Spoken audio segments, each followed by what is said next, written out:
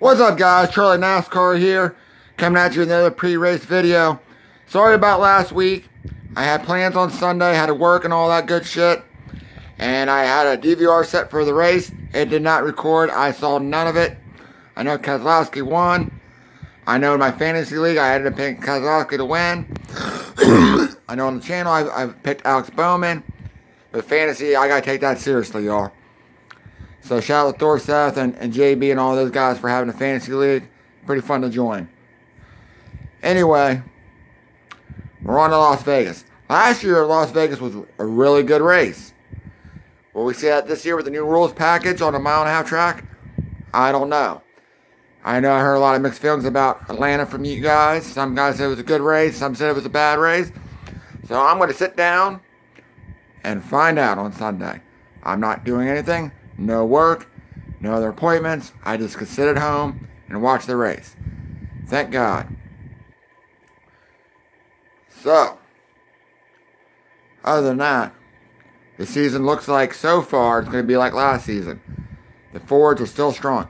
And they switched to manufacture, I mean not manufacturer, switched to um, cars to a Mustang. I don't think they're missing a beat. Chevrolet, you could tell they missed a beat. Even though they did win the 500 last year, they were really not coming out the gate that strong in Atlanta like the Fords still are. Fords are in it. That's what I think. I think it's still a Ford, Ford man's game. Or Ryan Blaney, and maybe he might give me my first win this week. Who knows? It's been a couple years since my favorite drivers gave me a win. Hoping for that. Count on you, Blaney. So anyway, guys, the real reason why y'all watch this channel for the Pick 4 contest. It's real simple to play. All you gotta do is...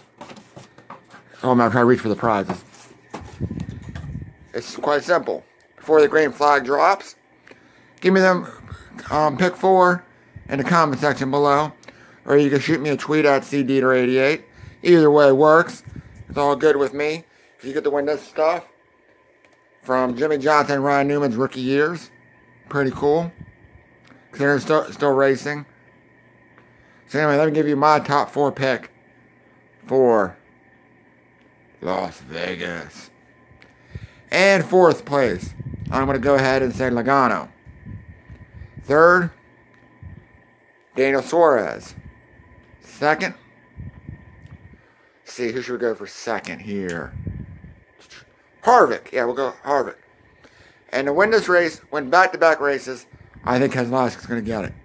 Don't ask me how or why, but I think that's what's going to happen. So, guys, that's my top four pick. Look forward to hearing yours. I will have a post-race video this week. All right? And as always, guys, remember, fuck Toyota.